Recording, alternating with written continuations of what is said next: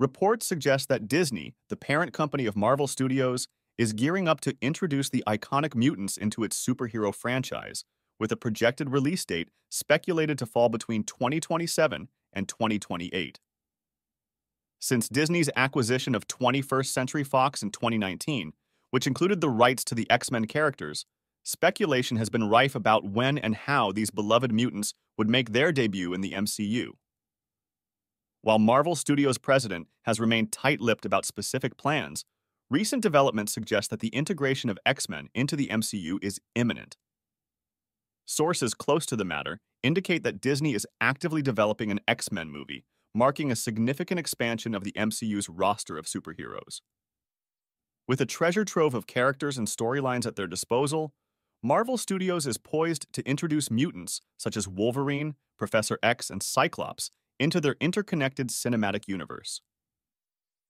Industry insiders suggest that the X Men movie could potentially serve as a launching pad for standalone adventures featuring fan favorite mutants, paving the way for exciting new narratives within the MCU. While details regarding the plot and cast remain under wraps, anticipation is steadily building among fans eager to witness the X Men's long awaited integration into the MCU. But that's not all.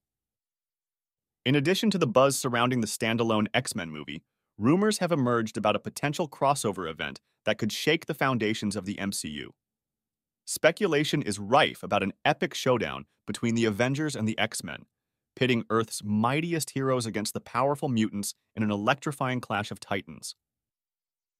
While nothing has been confirmed by Marvel Studios or Disney, the prospect of an Avengers vs. X Men movie has sent shockwaves through the fan community, igniting fervent discussions and debates about which team would emerge victorious in such an epic confrontation.